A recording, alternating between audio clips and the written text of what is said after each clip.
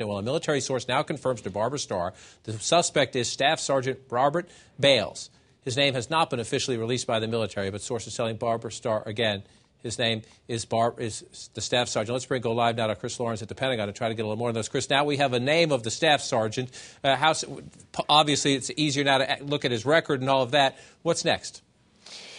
Well, basically, John, yeah, we just confirmed with a second source here at the Pentagon that it is Staff Sergeant Robert Bales. Uh, you know, he was a first platoon sergeant there in Afghanistan, did a lot of work with the tribal elders there. Uh, you know, we actually, I've been online just in the last minute or two, saw some photos of him working with some of the Afghans, with some of the work that he was doing there in the short time over the past few months that he was there.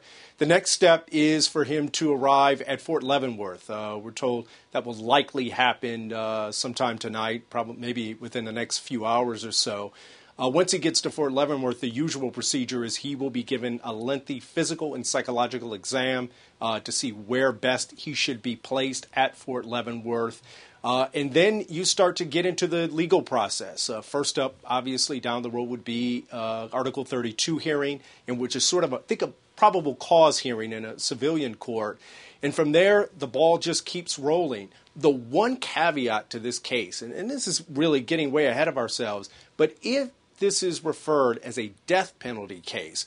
The one caveat is going to be uh, in that sort of case, uh, the the prosecution cannot use uh, sworn statements or depositions. They have to actually produce the witness, and the defense has the right to look at his accusers and to and to cross-examine those witnesses.